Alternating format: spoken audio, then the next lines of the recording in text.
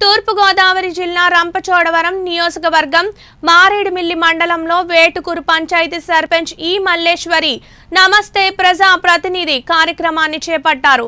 ఈ కార్యక్రమంలో భాగంగా ఆమె వేటుకూరు గ్రామంలో దేవుడు లంక సిల్కుదార వీధుల్లో పర్యటించి సమస్యలు తెలుసుకున్నారు. ప్రధానంగా రోడ్డు సమస్యను గ్రామస్తులు ఆమె దృష్టికి తీసుకుని వచ్చారు ముఖ్యంగా రేషన్ తీసుకోవాలన్నా గ్రామానికి కావలసిన నిత్యావసర వస్తువుల కోసం వెళ్ళాలన్నా వ్యాపారస్తులు రావాలన్నా కొండ కాలువపై వంతెన కావాలని గ్రామస్తులు కోరారు. అనంతరం ఆమె ఈ సమస్యలను ప్రభుత్వ అధికారుల దృష్టికి తీసుకెళ్ళి వినతి పత్రాన్ని అందజేశారు. ఈ సందర్భంగా ఆమె మాట్లాడుతూ ఒక కొత్త బోరు విద్యుత్ మోటార్ అమర్చి మంచినీటి సమస్య పరిష్కరించాలని మన్యంలో ఉన్న ప్రజానీకం కోరుతున్నట్లు తెలిపారు. వీధి లైట్లు సరిగా వెలగడం లేదని నాలుగు వీధి లైట్లలో రెండు మాత్రమే వెలుగుతున్నాయని అవి కూడా సరిగ్గా వెలగడం లేదని గ్రామస్తులు తెలిపారన్నారు.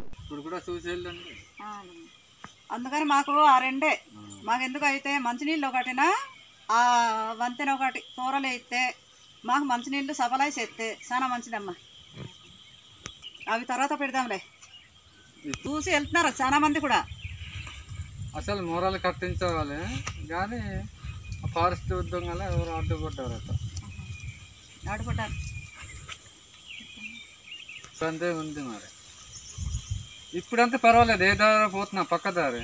వర్షాకాలం అంతే ఈ కాలువ దాటలేం కదా. ఆ నీళ్ళాడు బైకులు కానీ ఏమైనా ఆటోలు గట్ట.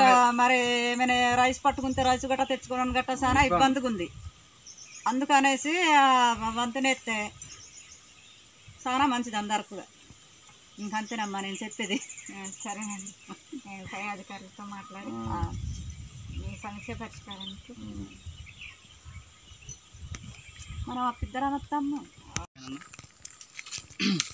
ఈ కల్వర్ట్ పోయి సంవత్సరం అవుతుంది. సంవత్సరం నుండి మాకు బియ్యం ఇవి రవాణా ఏమైనా చేసుకోవాలన్నా ఇబ్బందిగా ఉంది.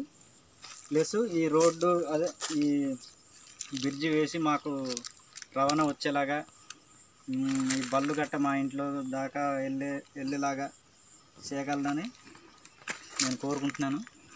ప్లస్ మొన్న రైస్ బండి కూడా వచ్చింది. ఇక్కడ దాకా వచ్చింది రైస్ బండి. అదే బావగారు ఇక్కడ దాకా వచ్చింది కనుక మాకు ఇంటి రైస్ బండి కూడా ఇంటి దగ్గరకు వచ్చి ఇంటి దగ్గరకు వస్తుందని.